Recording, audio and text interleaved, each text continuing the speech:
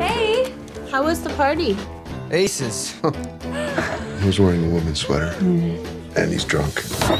Yeah, we're good parents. My name's Simon. I'm just like you. I have a normal family, amazing friends, typical high school. You know, there's no texting in the halls, dude. Come on, I can't have all my students Tindering it up. Right. That's my department. A lot of my life is great, except I have one huge ass secret. Hey, Have you seen the new post? About the closeted gay kid at school. Who do you think it is? dear Blue, I'm just like you. Nobody knows I'm gay. Dear Simon, it's nice to know there's another guy at school with the same secret. When did you first realize? Dear Blue, it was a bunch of little things, like my first girlfriend. I think I'm falling in love with you. Be right back. Wasn't my proudest moment. Simon, have you told anyone?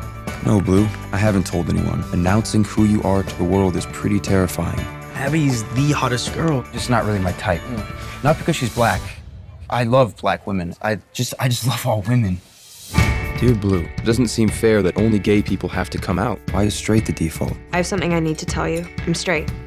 I like girls. You trying to kill me? I like men. Oh, God, help me, Jesus.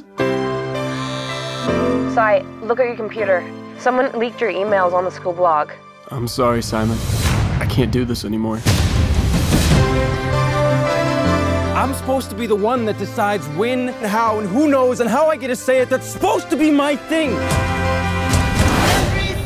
I think I'm destined to care so much about one person it nearly kills me. Me too. It's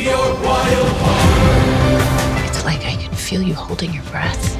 You are still you, Simon. Have you ever been in love? I don't know. I think so. Dear Blue, I might not know your name or what you look like. I want to find you. I'm done living in a world where I don't get to be who I am. You date me because you think I look like a guy? No, I actually broke up with you because you don't look like a guy. Oh, okay. Thanks. Welcome.